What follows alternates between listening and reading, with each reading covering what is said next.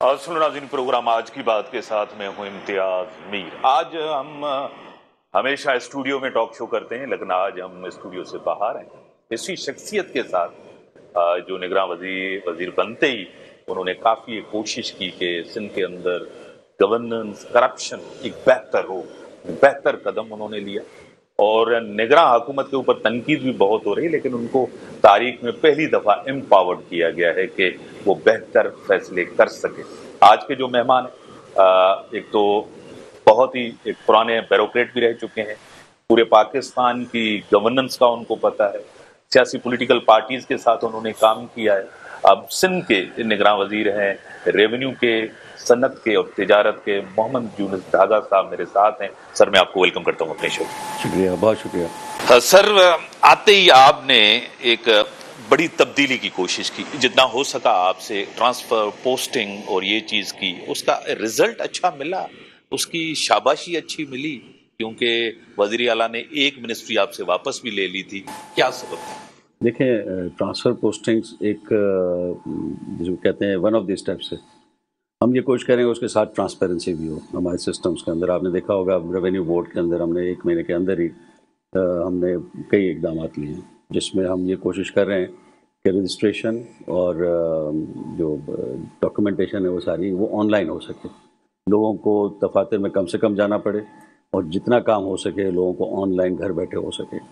उसके साथ साथ हर जो काम है उसकी एक टाइमलाइंस हो मुकर और पूरा जितना भी सारे सिस्टम को हम कंप्यूटराइज कर रहे हैं ताकि दफ्तरों के अंदर जो बार बार धक्के लोगों को खिलाने या उनका जायज़ काम ना होना है जायज़ काम के लिए उनसे कोई अ, पैसे मांगे जाने तो इस सब चीज़ों को ख़त्म करने के लिए कंप्यूटराइजेशन पे हम तवज्जो दे रहे हैं।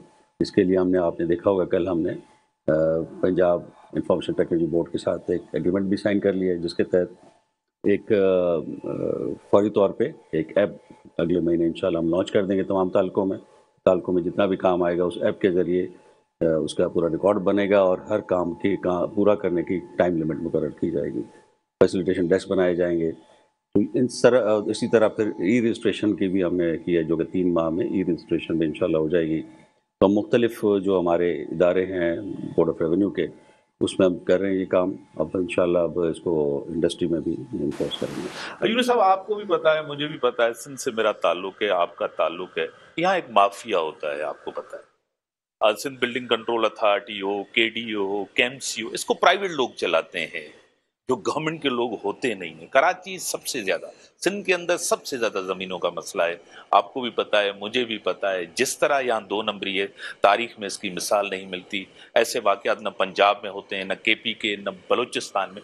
जिस तरह सिंध के अंदर हो रहा है, इसको किस तरह रोका जाए, किस तरह रिफॉर्म्स लाए जाएँ कि इस चीज़ से बच सकें? ये हमारा जो डिजिटाइजेशन का जो प्रोग्राम है, जो आईटी बेस्ड है, इसमें ये रिफॉर्म्स दो तरह की एक तो यह है कि सारा आपका हमारा रिकॉर्ड है, जो उसके नक्शे हैं, वो सारे डिजिटाइज हो जाएँगे और वेबसाइट पे आपके लिए, सबके लिए अवेलेबल होंगे। तो उससे फिर बार उसमें किसी छेड़छाड़ करना किसी के लिए नामुमकिन हो जाएगा।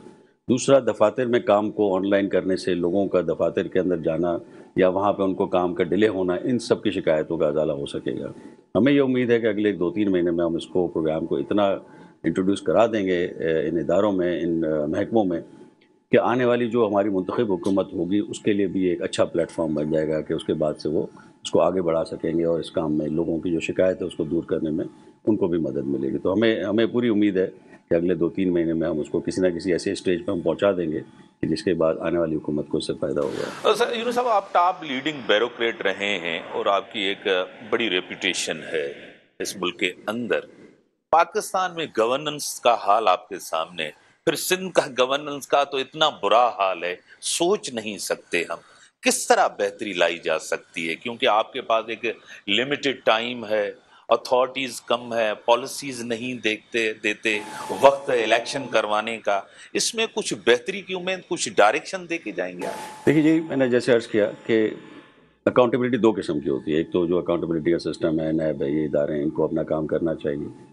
दूसरी अकाउंटेबिलिटी तो परफॉर्मेंस अकाउंटेबिलिटी के, लोग अपना काम सही तरीके से करते हैं, वक्त पे करते हैं या नहीं करते हमारी कोशिश ये है कि जो हम सिस्टम बना रहे हैं, उसमें परफॉर्मेंस अकाउंटेबिलिटी भी हो कि जहाँ पे दफातर में काम में डिले हो रहा हो, वक्त पे काम नहीं हो रहा हो, और, या काम को मुनासिब जो, जिसको कहें क्वालिटी का नहीं हो रहा हो तो वहाँ पर अकाउंटेबिलिटी हो सके। तो ये जब तक इदारों के अंदर अकाउंटेबिलिटी नहीं होगी, दोनों किस्म की, एक तो फाइनेंशियल अकाउंटेबिलिटी है, दूसरा परफॉर्मेंस अकाउंटेबिलिटी है।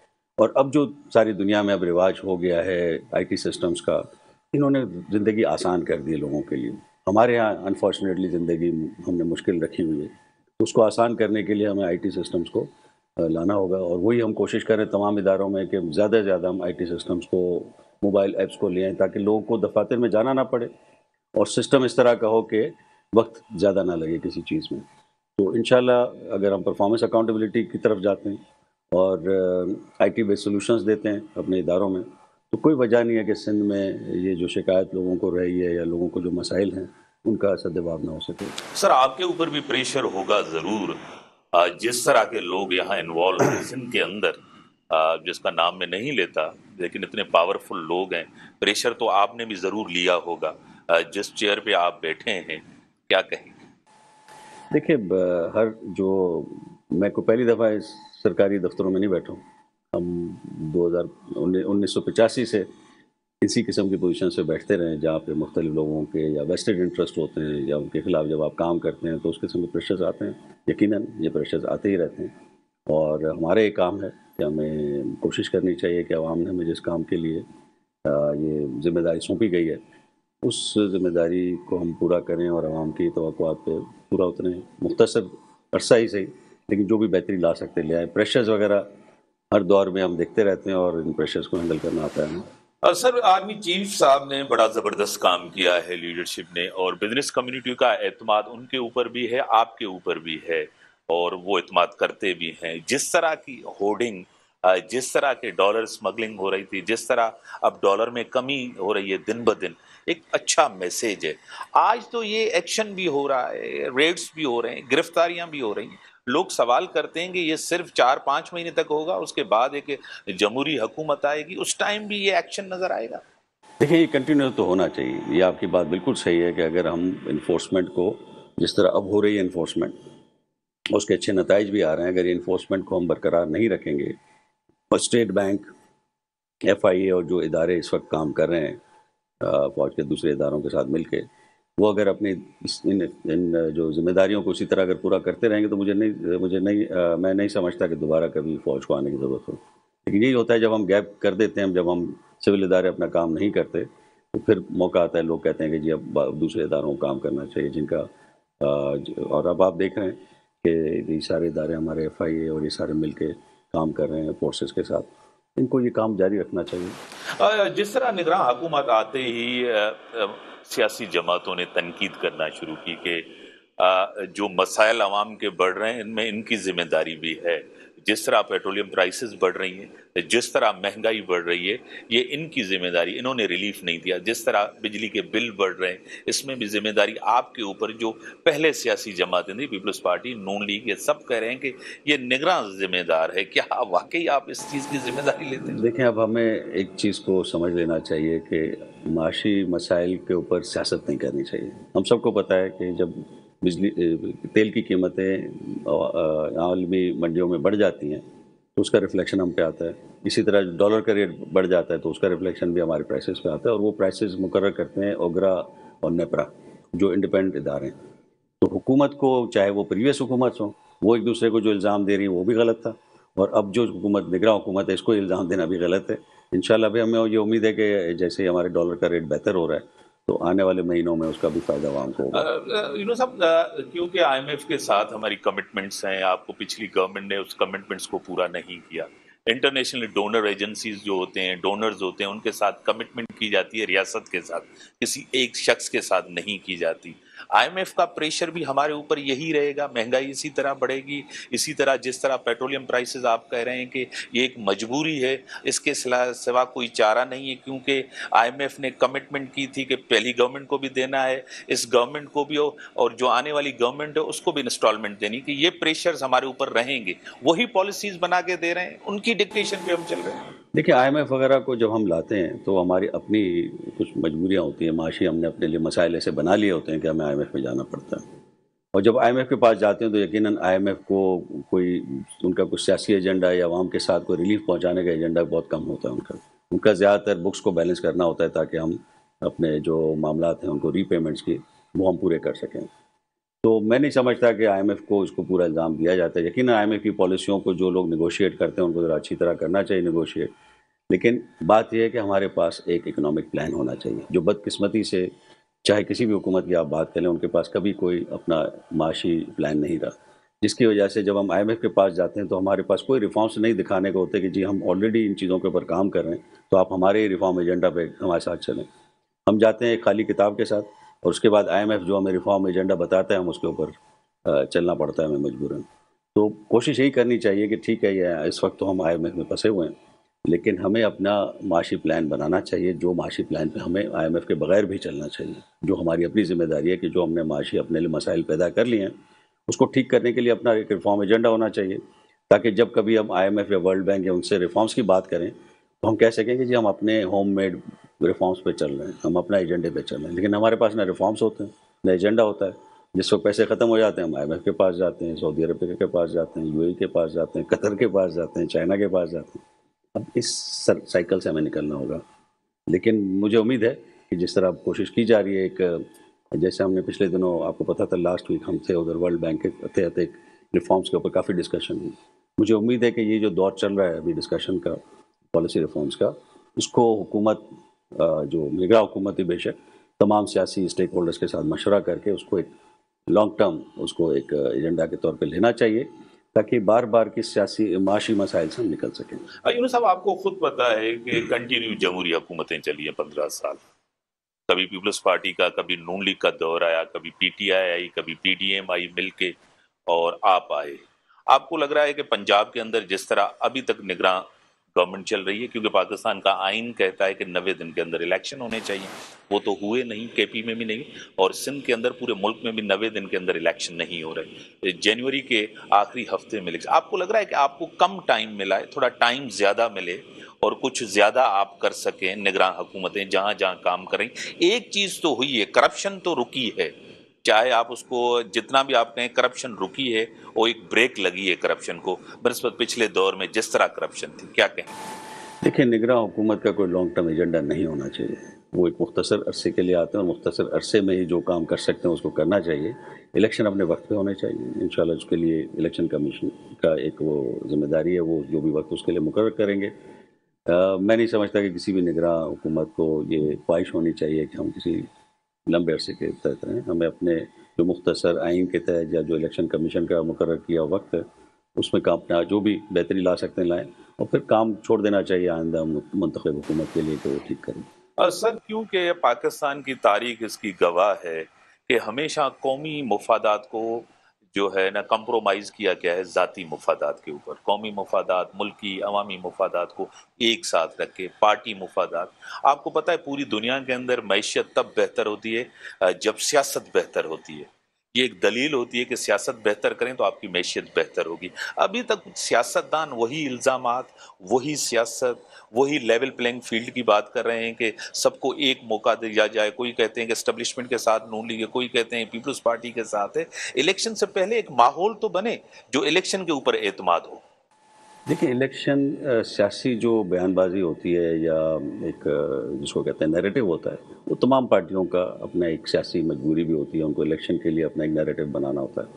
तो बेशक जो भी नैरेटिव हो सबको मौका मिलना चाहिए कि वो इलेक्शन में हिस्सा लें और एक फिर इन फेयर इलेक्शन कराना, ज़िम्मेदारी इलेक्शन कमीशन की और हम निगरा हुकूमतों का यही काम है कि उस मुख्तर वक्त में जितनी भी हम इलेक्शन कमीशन की मदद कर सकते हैं, करें।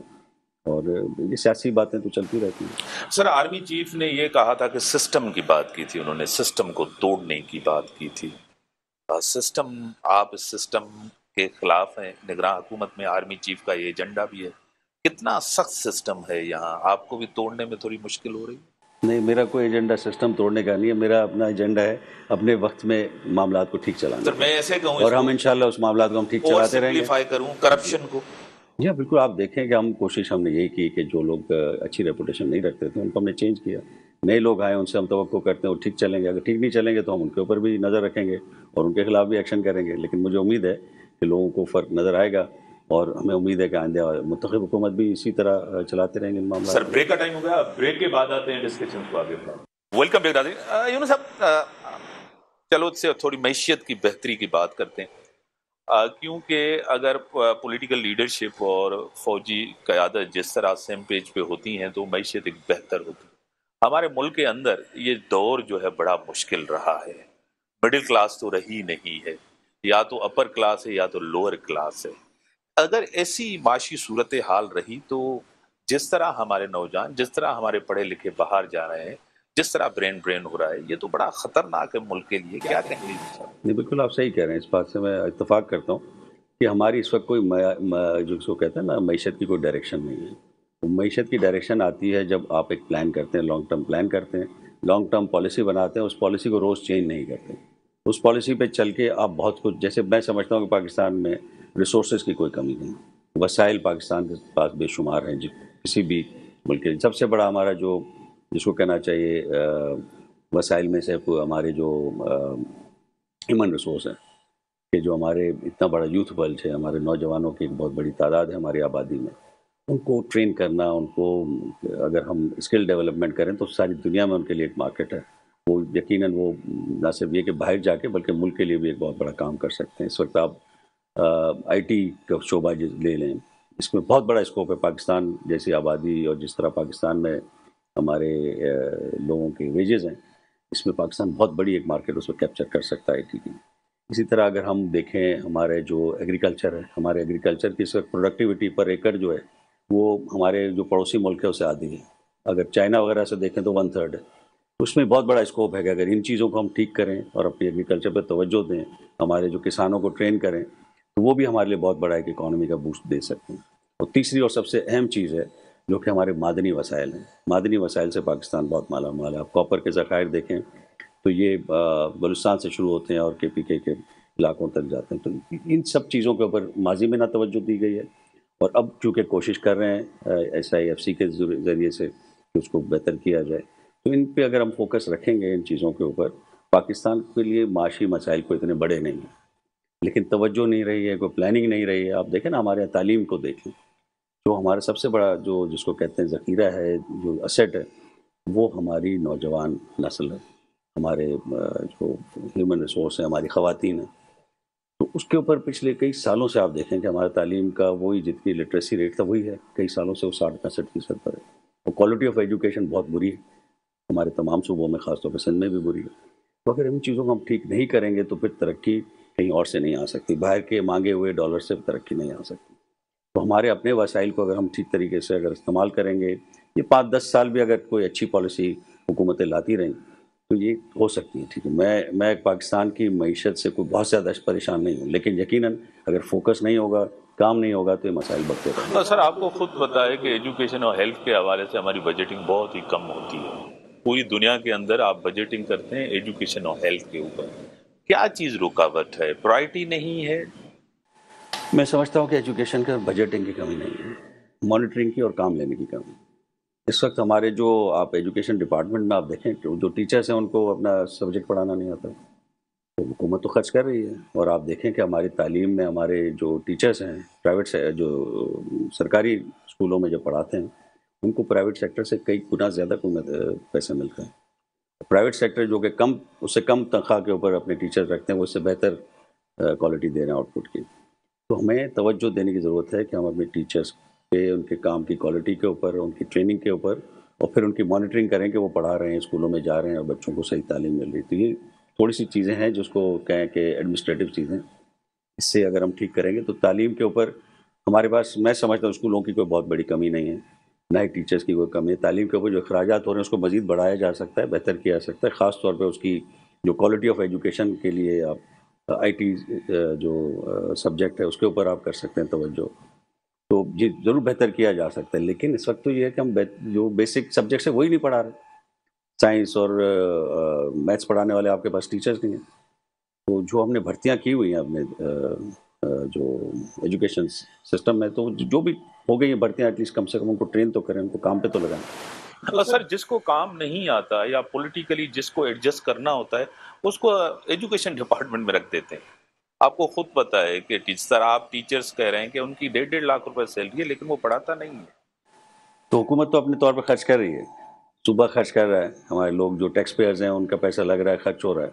लेकिन अगर हमारा टीचर पढ़ा के नहीं दे रहा तो या तो फिर उसको फारिग करें, दूसरा टीचर रखें, या उसको ट्रेन करें, उसको मोटिवेट करें कि भाई अपने काम पे लगे वो इस तरह तो मा, मामला नहीं चल सकता। आप तालीम को इस तरह कब तक चलाते रहेंगे? सर सनत और तजारत भी आपके पास है। इंडस्ट्री के बहुत बड़े मसाइल हैं क्योंकि इंडस्ट्रियलिस्ट हमारे साथ मिलते हैं। अब बाहर का इन्वेस्टर भी दो तीन चीज़ें देखता है। एक तो पॉलिटिकल स्टेबिलिटी देखता है दूसरा लॉ एंड ऑर्डर सिचुएशन देखता है। इंडस्ट्री के भी तो बहुत से मसाइल हैं कराची के अंदर। वो इनपुट महँगा हो गया है बिजली महँगी हो गई है जॉब अपॉर्चुनिटीज़ रही नहीं है क्या कहें? सकता है मसाइल तो हैं हमारी जो जिसको सनती क्लास के बहुत ज़्यादा मसाइल हैं। और जो हम मसाइल जो सूबाई हुकूमत को जो मसाइल हल करने चाहिए, जिसकी हम कुछ थोड़ी बहुत शुरुआत करने की कोशिश करेंगे, वो ये है कि हमारे बहुत सारे इंस्पेक्टर्स, बहुत सारे इदारे सनती इदारों के अंदर इंस्पेक्शंस के लिए जाते हैं। उससे भी एक, उनको काम में बार बार रुकावट भी होती है। और उनसे भी फिर पैसे बनाने का और एक एक्सटॉर्शन की शिकायतें भी होती हैं। तो हमारी एक कोशिश होगी कि अगर आइंदा चंद महीनों के अंदर इस सिस्टम को इम्प्रूव करने के लिए भी कोई कानून साजी का प्रपोजल बना के दें, जो कि आने वाली हुकूमत के लिए हो, कि साल में एक या दो दफ़ा तमाम इदारे चले जाएँ किसी एक फैक्ट्री में। जितनी इंस्पेक्शंस करनी है कर लें, चाहे बॉयलर की करनी हो, चाहे बिजली की करनी हो, चाहे आपको कोई उनकी सफ़ाई और हेल्थ की करनी हो वो सारी एक ही दफ़ा में हो जाए, ताकि ये बार बार के हर दूसरे हफ़्ते कोई ना कोई हमारा इंस्पेक्टर उधर पहुँचा होता है और वो फिर सारा काम बंद करके उसको सुन, देख रहे होते हैं। इससे भी बड़ी डिस्ट्रप्शन होती है। तो हमें वो फैसिलिटेशन वहाँ पे इंशाल्लाह हम करने की कोशिश करेंगे। सर, आपको पता है कि इंडस्ट्री का बड़ा कंट्रीब्यूशन होता है पूरी दुनिया के अंदर। वो डोनेट करते हैं स्कूल्स में कॉलेजेस में ब्रिजेस में, या माजी में रहा भी है। अचानक रुक गया है। कराची एक बड़ा शहर है, पाकिस्तान का दिल है। साउथ एशिया का सबसे बड़ा शहर है।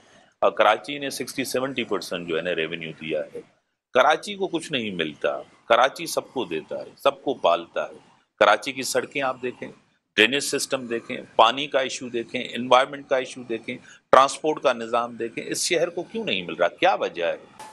देखिए, हम एक जो, खासतौर पर एक बहुत बड़ा सियासी एजेंडा तमाम पार्टियों का होता है, वो है डिवोल्यूशन तो वफाक से तो डेवोल्यूशन बहुत सारी हो गई। अब ये पोजीशन है कि हमारे सूबे काफ़ी खुशहाल हैं, वफाक में है माली मसाइल। लेकिन जो खुशहाली नीचे आई है, जो डेवोल्यूशन और इख्तियार और माली वसाइल जो सूबों में आके रुक गए वो सूबों से नीचे नहीं गए। तो अब जिस तरह हम अगर खैरपुर की भी म्यूनसिपल कमेटी को देख लें, या आप किसी और जगह के जो टाउन कमेटीज़ को देख लें तो वहाँ पर भी फंड्स की कमी है। इसी तरह कराची में भी है फंड्स की कमी, जैसे आपने बिल्कुल ठीक कहा। अब ज़रूरत यह है कि आपने प्रोविंशियल फाइनेंस कमीशन 2008 के बाद नहीं किया। और प्रोविंशियल फाइनेंस कमीशन के तहत बहुत ठीक ठाक फंड्स आते थे तमाम शहरों में। आप देखें उस ज़माने में तमाम सिंध के शहर छोटे बड़े सब में अच्छा काम हुआ और एक तरक्की नज़र आई वहाँ पे फंड्स आए। अब वो दोबारा एक से जो सेंट्रलाइज कर लिया गया है महकमों को सूबे में और फंड्स भी अभी पीएफसी को भी तकरीबन 2008 के बाद से नहीं किया गया। तो हमारी तजवीज़ हो गया आने वाली हुकूमत कि। प्रोविंशियल फाइनेंस कमीशन के तहत मकामी जो इदारे हैं उनको फ़ाल किया जाए, क्योंकि ये सुबह, कोई भी सुबह, हमारे सूबे माशाल्लाह बहुत बड़े हैं। सूबाई लेवल पे बैठ के मकामी मसाइल को हल नहीं किया जा सर एनएफसी के ऊपर तो पिछली गवर्नमेंट ने भी काफ़ी शोर किया कि हमें पूरे पैसे नहीं मिल रहे। हमारे पैसे काटे जाते हैं और हमें मुकम्मल नहीं दिए जाते। कराची के अंदर मुख्तलिफ़ गवर्नमेंट्स आती हैं, वो ऐलान भी करते हैं, सब कुछ करते हैं। ग्यारह सौ अरब रुपए का, फलां चीज़, ये अरब, वो अरब, कोई एक चीज़ भी नहीं मिलती। वज़ी अजम जो भी होता है वक्त का, उसकी प्रायोरिटी कराची भी नहीं होता। सियासी जमातें जो यहाँ रही हैं, उसकी ज़िम्मेदार वो भी हैं। ये नहीं है कि वो जिम्मे, सबसे बड़ी ज़िम्मेदारी उनकी होती है कराची के ऊपर। और कराची के ऊपर हमेशा सियासत हुई है। आज भी सियासत हुई है, माजी में भी सियासत हुई है, आगे भी सियासत हुई है। यहाँ यहाँ लोगों ने क्या कसूर मंजूर किया है। बोर्ड तो एक जमात को कंटिन्यू देते आए, फिर पीपल्स पार्टी को, आज मेयर पीपल्स पार्टी का है। क्या कहेंगे? मेरा ख्याल है कि ये जैसे आपने बात की कि एन एफ़ का एक बहुत अच्छा सिस्टम है। और उस पर जो भी सियासी बयानबाजी अपनी जगह पे, लेकिन एनएफसी में जितने पैसे जमा होते हैं वफाक के, वो सूबों को मिल जाते हैं उनके शेयर के मुताबिक। उसमें कोई एक आध हफ़्ते आगे पीछे हो सकता है, चंद दिन आगे पीछे हो सकते हैं, लेकिन ये महीने में दो दफ़ा ये फंड्स आपके पास ट्रांसफ़र होते हैं। तो मैं नहीं समझता कि वहाँ एनएफसी में उस तरह का फंड्स की तकसीम का या वक्त में ना पहुँचने का कोई मसला हो। मसला वही आ जाता है कि पीएफसी मिसिंग है। तो जब तक पीएफसी नहीं होगा तो मेरे ख्याल है कि मेयर कराची भी बहुत ज़्यादा जितना वो चाहेंगे उतनी खिदमत नहीं कर सकेंगे कराची की। तो पहले हमें माली जो तकसीम का मामला है उसको ठीक करना होगा। पीएफसी को जल्द सर पीएफसी क्यों नहीं दिया जा रहा? एनएफसी तो लिया जाता है। ये सियासी जमाते कहते हैं, हम बड़े जमहूरी हैं, पावर नीचे तक जाए और थर्ड ईयर गवर्नमेंट का बड़ा रोल होता है जिस तरह ड्रेनेज का सिस्टम पानी का रोड्स का, वही बनाए। लेकिन यहाँ आकर एनएफसी से पैसे पीएफसी की तरफ़ नहीं जाते, यहाँ आके रुक जाते। बच्ची एक है मसला सिंध में भी है, दूसरे सूबों में भी है। कुछ के पी के ने कुछ बेहतर रखा हुआ है। के पी के में पी एफ़ सी वक्ता फ़क्ता होते भी रहे, वहाँ पे मकामी इदारों को पैसे मिलते रहें। लेकिन ये मसला सिंध का भी है और ये मसला पंजाब का भी है। कि दोनों ने अपने पी को प्रॉपरली नहीं किया। दोनों का ये रहा है कि वो मकामी जो हमारी सूबाई जो हुकूमतें होती हैं वो मकामी मामला में ज़्यादा इंटरेस्ट लेती हैं कि वो चाहते हैं कि हमारे एमपीएस के थ्रू ये काम हो। हालाँकि जितने आ, मकामी नुमाइंदे भी होते हैं उनका भी ताल्लुक किसी ना किसी पार्टी से होता है। तो उनके ज़रिए से भी अगर काम होंगे तो आवाम में वही उनकी पॉपुलरिटी होगी उस पार्टी की। तो ये एक थोड़ी समझ की मैं समझता हूँ है कि उनको ये समझना चाहिए कि जो काम सूबाई नुमाइंदे कर सकते हैं। वो मकामी नुमाइंदे भी कर सकते हैं उन्हीं पार्टियों के। और वो जो उससे पॉपुलरिटी गेन करना चाहते हैं अवाम में मकबूलियत गेन करना चाहते हैं तो मकामी नुमाइंदों के ज़रिए भी एक पार्टी अपनी आवाम में पॉपुलर हो सकती है। तो ये एक मैं समझता हूँ कि इसमें करना पड़ेगा। ये ज़रूर एक हमारी आइन में भी एक कमी है। आइन में सिर्फ़ लिखा गया है कि सूबाई हुकूमतें काम करेंगी। अब जब सूबाई हुकूमतों की आप मंशा पे छोड़ देंगे तो फिर वही होगा कि इसी तरह पंजाब हुकूमत ने भी किया सिंध की हुकूमत ने भी किया तो अपनी मंशा के मुताबिक कई कई सालों तक एडमिनिस्ट्रेटर मुकर कर देते तो जिस तरह सूबाई हुकूमत को एक अरसे से ज़्यादा पेंडिंग नहीं रखा जा सकता और इलेक्शन कराना होता है, इसी तरह हमें आइन में ये तब्दीली करनी होगी कि मकामी हुकूमतों को भी, उनको जो माली वसाइल मिलने हैं मिलते रहे, जिस तरह एन में मिलते हैं। पी एफ़ सी की भी एक आइन के अंदर होना चाहिए और फिर ये जब एक उसका जो पूरी हो जाए उसकी मुद्दत किसी मकामी हुकूमत की तो एक नवे दिन के अंदर उसका भी इलेक्शन होना चाहिए। सर, आपको खुद पता है आइन ऐसी मजलूम किताब है यहाँ। हमेशा इसको शहीद किया गया हर दौर। चाहे आमरीत हो, चाहे जमहूरी हुकूमतें हो आइन के तहत नहीं चलती, आपको पता है। जिस तरह एटीन अमेंडमेंट है एटीन अमेंडमेंट में भी काफ़ी सूबों के पास पावर ज़्यादा है, बहुत से आ गए हैं। लेकिन कुछ चीज़ों पे जो है ना, आज भी है। जिस तरह हेल्थ मिनिस्ट्री यहाँ भी है हेल्थ मिनिस्ट्री आपको मरकज में मिलेगी। एजुकेशन मिनिस्ट्री वहाँ भी है एजुकेशन मिनिस्ट्री यहाँ भी है। ये फ़र्क तो अभी भी तो है, मरकज़ अपने पास चीज़ें तो रखना चाहता है डिसेंट्रलाइज करने से मरकज़ को खौफ क्यों है? नहीं, लेकिन अब काफ़ी हद तक तो हो गया देखें, अब यूनिवर्सिटियाँ जितनी आए, वो सारी सूबे चला रहे हैं, पहले सारा वफाक में होता था। काफ़ी हद तक तो हो गया डिसेंट्रलाइज लेकिन यही होता है कि जो है ना, वो आदतें जाते जाते जाती हैं तो वहाँ पर भी तो एक ब्यूरोक्रेसी पूरी बैठी है ना। जो चलाना चाह रहे हैं अपनी जॉब्स को, वरना मैं ये समझता हूँ कि अगर वफाकी हुकूमत की ब्यूरोक्रेसी और इवन सूबाई हुकूमत की ब्यूरोक्रेसी को, अगर गौर से आप देखें बजट की किताबों को तो उसमें से तकरीबन आपको आधे महकमे ऐसे मिलेंगे, आधी पोस्टें ऐसी मिलेंगी जो बिल्कुल नाकार हैं, जिसमें कोई काम नहीं हो रहा होता। वफाक में तो ये बहुत ज़्यादा है सूबों की नस्बत। तो लेकिन वो वहाँ पे भी वो जो होनी चाहिए, वो नहीं करते और वो जो जो कहते हैं ना डुप्लीकेट इदारे चलाते रहते हैं साथ साथ हालाँकि तालीम वगैरह हायर एजुकेशन वगैरह बेशक एक पूरी जो जिसको कहते हैं करिकुलम के लिए, दूसरी चीज़ों के लिए यूनिफॉर्मिटी के लिए होना चाहिए कि तमाम सूबों में वो कोऑर्डिनेशन का काम करे। लेकिन जहाँ तक चलाने का काम है वो सूबों के पास ही होना चाहिए। सर लॉ एंड ऑर्डर सूरत हाल ये का सबसे जो है ना, इतना बड़ा इशू है। आपको खुद बताए, पंजाब के अंदर एक बड़ी इंडस्ट्रियलाइजेशन हुई। फ्यूडल सिस्टम यहाँ कम हुआ, वहाँ बनस्बत कंपेयर टू सिंध अभी भी वही स्ट्रांग है, उसी तरह। खैरपुर के वाकत बच्चियों के देखें और किडनैपिंग फॉर रेंसम देखें स्ट्रीट क्राइम देखें सिंध के अंदर ये सबसे बड़ा जो है नासूर है जिसके ऊपर आपकी गवर्नमेंट यानी कि मौजूदा निगरान गवर्नमेंट जिस तरह सीएम साहब हों होम मिनिस्टर हों आईजी साहब हों बड़े कंसर्न्स हैं कि लॉ एंड ऑर्डर बेहतर नहीं हो रहा कश्मीर से लेकर कराची तक। क्या जी हाँ देखिए कोशिश तो कर रहे हैं। आपने देखा होगा कि वो ऑपरेशंस भी चल रहे हैं। सर मैं यहाँ ब्रेक लूँगा बाद में आता हूँ ब्रेक का टाइम होगा। ब्रेक के बाद आते हैं discussion welcome you know law and order सबसे बड़ा इशू है, हर ऑफ़िस में जाते हैं, यही डिस्कस होता रहता है कि लॉ एंड ऑर्डर कैसे बेहतर होगा। कहीं इसी तरह नहीं है दूसरे सूबों में, जिस तरह सिंध के अंदर हालात इस तरह क्या कहेंगे यकीन जी, आपकी बात बिल्कुल सही है कि सिंध में इस वक्त लॉ एंड ऑर्डर की सिचुएशन काफ़ी ख़ास तौर पे चंद ज़िलों के अंदर बहुत ज़्यादा ख़राब है। और जैसा कि आपने देखा होगा कि हमारे जो वज़ीर दाखिला हैं और उनकी टीम, आईजी साहब वगैरह पूरी कोशिश कर रहे हैं। उन्होंने काफ़ी दौरे भी किए उस, जहाँ पे ऑपरेशन चल रहे हैं। वहाँ पे अपनी फोर्सेस की उन्होंने हिम्मत भी बंधाई है। तो ये लेकिन एक लॉन्ग टर्म प्रोसेस है। यकीन ये ऑपरेशन से कुछ फ़र्क पड़ेगा, लेकिन ये जैसे आने वाले दिनों में असल बात होती है आप टीम की। कि आप किस किस्म की टीम्स है, आपके एस एच ओज़ आपके D S Ps S Ps ये टीम वर्क होता है, जो टीम वर्क के साथ हम करते हैं। जब काफ़ी अर्से तक ये टीम वर्क अगर ख़राब हो जाता है तो लॉ एंड ऑर्डर ख़राब होती है। जब ये टीम वर्क शुरू हो जाए तो कोई भी क्रिमिनल कोई भी धाड़ेल कच्चे का पके का उतना पावरफुल नहीं है कि पुलिस को या पूरे निज़ाम को वो शिकस्त दे सके।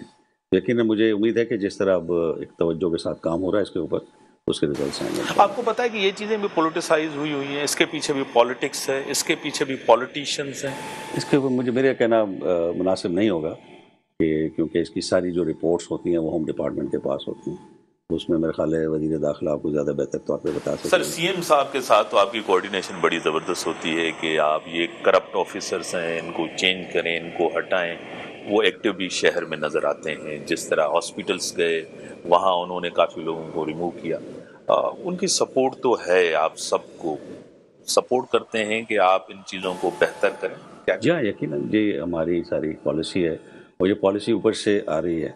आप देखें वफाकी जो हुकूमत है निगरान वो भी इन चीज़ों पे काम कर रही है और आ, जो हमारी सूबाई हुकूमत है इसका भी फोकस इसी बात पे है कि लोगों को रिलीफ मिलना चाहिए लोगों को की जो सहूलियात बेहतर होनी चाहिए। सरकारी इदारों के पास चाहे वो किसी काम से आए दफातर में या इलाज के लिए हॉस्पिटल्स में जाएँ या पढ़ने के लिए अपने बच्चों को स्कूलों में भेजें हर जगह पे उनको वो क्वालिटी मिलनी चाहिए वो तवज्जो मिलनी चाहिए। अनफॉर्चुनेटली हमारे सरकारी मुलाजिम जब उसको जॉब मिल जाती है फिर समझता है कि ये पक्की जॉब है। और मुझे अब कोई नहीं हटा सकता, मुझे काम करने की ज़रूरत नहीं तो हमें ज़रूर ये, उसको ये एहसास दिलाना चाहिए कि कोई भी जॉब किसी की भी परमानेंट नहीं होती जब तक कि वो परफॉर्म ना करे। तो इन हम ये कोशिश करें हर इदारे के अंदर परफॉर्मेंस बेस्ड जितना भी हम कर सकते हैं। यकीन एक मुख्तर वक्त है, लेकिन एक अच्छा यूनिट साहब को तारीख में याद रखा जाए, कोई ऐसी चीज़ करके जाए रेवेन्यू के अंदर ऐसे रिफॉर्म्स करके जाए, ऐसी ई सर्विसेज़ करनी चाहिए, ऐसी चीज़ें करें जो आपको याद रखा जाए कि हाँ यूनुस साहब इंशाल्लाह आपको जो है ना, हर महीने, हर हफ़्ते आपको कोई ना कोई इसमें प्रोग्रेस मिलेगी। जैसे हम अभी कर रहे हैं अगले हफ़्ते से तमाम जो हमारे सब रजिस्ट्रार के दफातर हैं, वहाँ से टोकन इशू किए जाएँगे। जो कंप्यूटराइज टोकन होगा, जिससे एक टाइम लाइन उसके साथ फिक्स हो जाएगा कि टोकन के तहत एक अगर आपका डॉक्यूमेंट जमा हुआ है तो एक हफ़्ते के अंदर उसका आपको वापस मिल जाना चाहिए।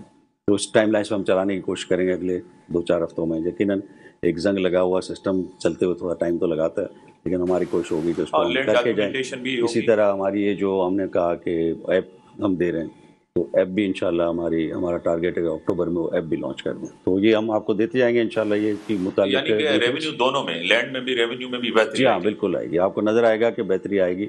और हमारी ये कोशिश होगी कि हम इसको सेंसिटाइज करते जाएँ। मैं इंशाल्लाह अगले हफ़्ते से मैं दौरों पे भी निकल रहा हूँ इंटीरियर में, ताकि वहाँ तक ये मैसेज जाए सर इंटीरियर सिंध के अंदर कोई प्लान है कि वहाँ कोई इंडस्ट्रियलाइजेशन की तरफ़ जाए?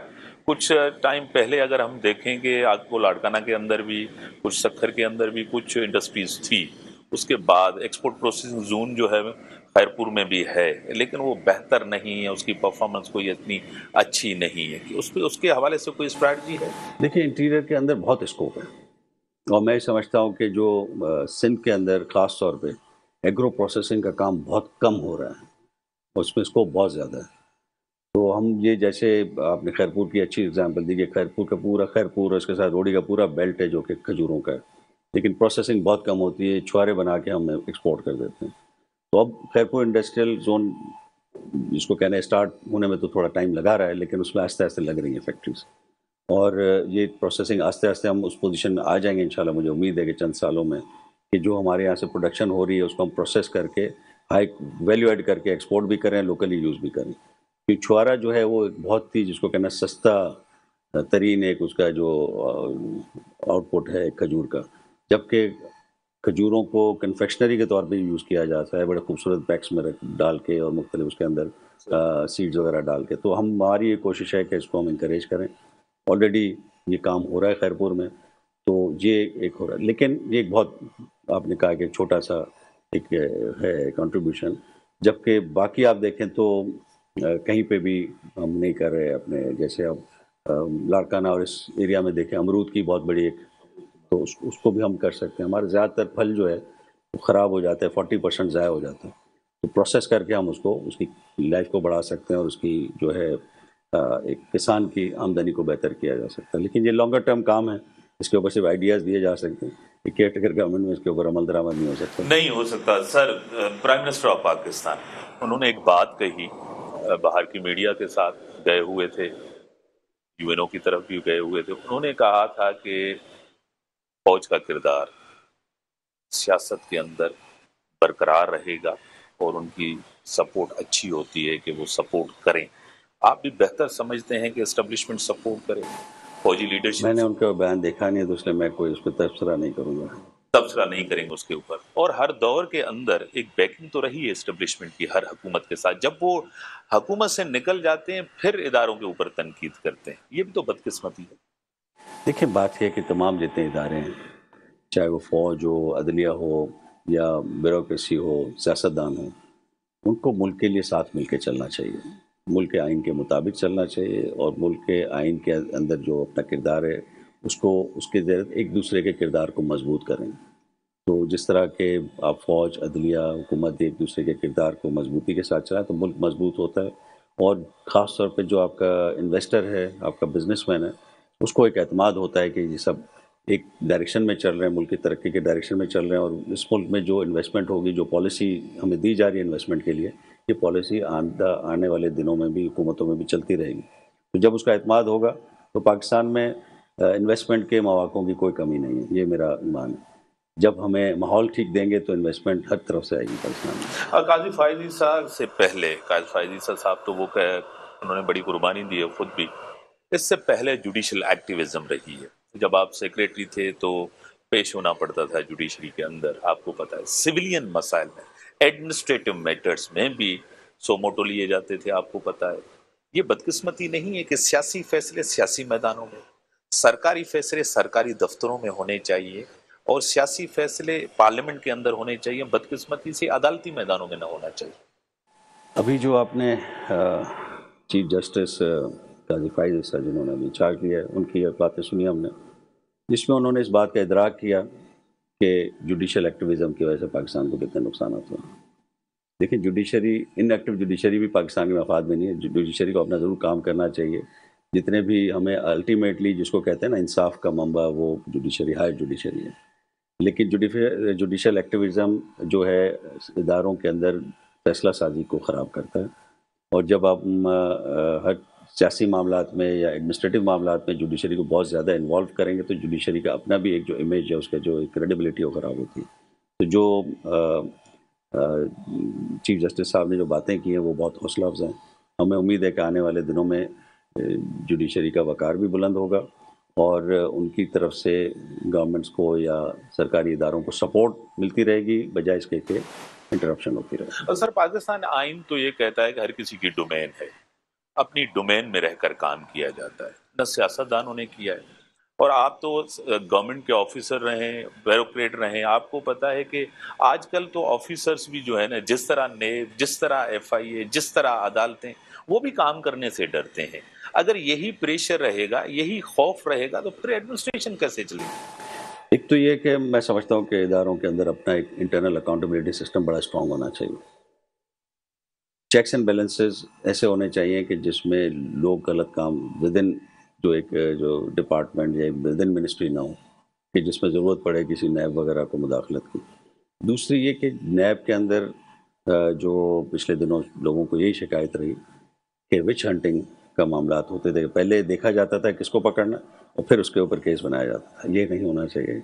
एक अकाउंटेबिलिटी का अक्रॉस द बोर्ड और जिसको कहना शफाफ सिस्टम होना चाहिए। ताकि फिर लोगों को ये पता हो कि अगर मैं कोई गलत काम कर रहा हूँ तो मेरे पीछे नैब आएगा। नैब सिर्फ़ इस वजह से नहीं आएगा कि मुझे, मेरे खिलाफ किसी ने कोई एक्शन लेना। तो ये जब आपको आप देंगे अतमाद ब्यूरोक्रेसी को कि सही काम अगर गुड फेद में, किसी काम में अगर नुकसान भी हुआ है देखिए ना, किसी भी फैसले का फ़ायदा भी हो सकता है, नुकसान भी हो सकता है। ये ज़रूरी नहीं है कि नुकसान अगर कहीं हुआ है तो वहाँ पे बेईमानी भी शामिल है। तो ये चीज़ ज़रूर हमें दूर रखना चाहिए। गुड फेथ में अगर कोई काम में नुकसान होता है तो उसको फिर तंग नहीं करना चाहिए। गुड फेथ का एक मामला होना चाहिए। लेकिन जहाँ पे हम ये देखते हैं कि वाकई बेईमानी के ज़रिए कोई किसी ने कोई फ़ायदा उठाए उस पर होना चाहिए। फिर नैब को भी काम करना चाहिए। इसके इसके मुतालिक अगर कोई सरकारी अफसर डरता है तो उसका मतलब उसने गलत काम किया। सर इंस्टीट्यूशनलाइजेशन करप्शन यानी कि इंस्टीट्यूशन जो है ना, हमेशा एक्टिव रहे डायनामिक रहे। जिस तरह आपने, मैंने नेब को देखा, बनते देखा रिफॉर्म्स देखे एफआईए को देखा एंटी करप्शन आपको पता है, सूबे के अंदर कितना एक्टिव होता है, आपको पता है, कोई नहीं होता। लोग तो यहाँ कहते हैं कि एंटी करप्शन जो करप्शन करता है, वो तो आपको पता है रेज की करता है। और जो नेब करप्शन करता है, वो होलसेल में करते हैं। इदारों के ऊपर अगर ये इल्ज़ाम हो कि वो करप्ट करते हैं, जो अकाउंटेबिलिटी करते हैं, वजह क्या है? क्यों नहीं हर दौर में एक्टिव होते हैं? कभी कोई आ गया, कोई वज़ीर आज़म, उन्होंने एक्टिव कर दिया। कोई किसी की हुकूमत आ गई तो नेब खामोश हो गया, चुप हो गया रेफरेंसेस वापस ले लिए गए, कानून साजी का ये सब कुछ हुआ गया क्या कहें? देखें डेमोक्रेसी को अगर हम चाहते हैं तरक्की करें और डेमोक्रेसी अपनी जड़ पकड़े तो हमें ज़रूरी है कि हमारे लिए अकाउंटेबिलिटी का बड़ा स्ट्रॉन्ग सिस्टम होना चाहिए। डेमोक्रेसी बगैर अकाउंटेबिलिटी के नहीं चल सकती। लेकिन अकाउंटेबिलिटी को सियासत के तौर पर इस्तेमाल करना, वो भी गलत है। वो भी नहीं होना चाहिए और अकाउंटेबिलिटी का सिस्टम इंडिपेंडेंट होना चाहिए, जिसमें कोई सियासी असर हो खसूस किसी का भी ना हो। और ना ही किसी की सियासी फेवर के लिए, ना किसी की सियासी मुखालफत के लिए अकाउंटेबिलिटी के इदारे यूज़ हों और ये दुनिया में हो हो चुका है। और सबसे ज़्यादा आपका अच्छा अकाउंटेबिलिटी का सिस्टम आपके अपने इदारे हैं। जैसे मैंने कहा कि अपने इदारों में आप करेंगे, अगर आपका पब्लिक अकाउंट्स कमेटी स्ट्रॉन्ग होगी सुबहों की, वफाक की तो फिर शायद नए वगैरह जैसे इदारों की बहुत कम ज़रूरत पड़ेगी लेकिन हमने देखा है कि ये पब्लिक अकाउंट्स कमेटी चाहे सुबह में हो, चाहे वफाक में हो, ये एक रीडिंग फोरम होती है जहाँ पे रिपोर्टें पढ़ी जाती हैं एक्शंस कोई खास नहीं होते। सर, आप क्या चाहते हैं कि इलेक्शन जनवरी के अंदर टाइम पे हो? इलेक्शन हल है मसाइल का। पहले मसाइल का हल रहा है इलेक्शन पहले जो गवर्नमेंट्स आई हैं, उन्होंने मसाइल अवामी हल किए आज जो आज अवाम की आप हालत देख रहे हैं, पिछले जितना भी आपका करियर गुजरा है, उसमें कभी ऐसी हालत आपने देखी? मुल्क की रियासत की पब्लिक की, महँगाई की, बेरोजगारी की, जो आज देख रहे हैं। देखिए, हालात तो ख़राब हैं, आपकी बात बिल्कुल ठीक है। लेकिन हालात को ख़राब, एक तरीके ख़राब को, अगर ख़राब हालात को ठीक करना, एक तरीके के साथ हो सकता है। और तरीक़ेकार के बगैर कोई भी काम आप करने की कोशिश करेंगे, उसमें कभी चीज़ें बेहतर नहीं होती। मैं समझता हूँ कि आइन के मुताबिक हमें चलना चाहिए। और आइन के तहत ही अगर जहाँ कमज़ोरियाँ हैं हमारे सिस्टम में, जैसे मैंने कहा अकाउंटेबिलिटी का सिस्टम को एक स्ट्रॉन्ग अक्रॉस दी बोर्ड और सियासी मुदाखलत से पाक होना चाहिए। इसी तरह आपका जो माशी तरक्की है, वो पॉलिसीज़ को भी हमको बचाना चाहिए सियासी मुदाखलत से और एक लॉन्ग टर्म पॉलिसी जिसमें सब इतफाक़ करें, उसको होना चाहिए। तो ये जब आप बुनियादी चीज़ें जो किसी भी मुल्क की तरक्की के लिए ज़रूरी होती हैं मीशत की भी और जमहूरीत की तरक्की के लिए भी, ये जब बुनियादी चीज़ें होंगी इंस्टीट्यूशनलाइज तो इन मुल्क तरक्की करेगा। इलेक्शन अपने वक्त पे आने चाहिए। वक्त का तयन इलेक्शन कमीशन का काम है। बड़ी मेहरबानी। यूनस साहब, आपने टाइम दिया, सियासी, मुआशी और आपने सब सवालों के जवाब दिए। आपकी बड़ी मेहरबानी, बड़ी नवाजिश। जिस तरह यूनस दादा साहब ने कहा कि accountability across the board accountability सबकी होनी चाहिए। जमहूरी जमहूरियत के अंदर सिर्फ़ इलेक्शन नहीं है अकाउंटेबिलिटी भी है ट्रांसपेरेंसी भी है। लोग कहते हैं कि जमहूरियत में सिर्फ़ इलेक्शन हो, और इदारे, जितने भी इदारे, चाहे सुप्रीम कोर्ट भी हो, अपनी डोमेन में रहे डोमेन में रहकर फैसले करे, और जो करप्ट है, उसको सजा ज़रूर मिले। इसी के साथ इजाज़त अल्लाह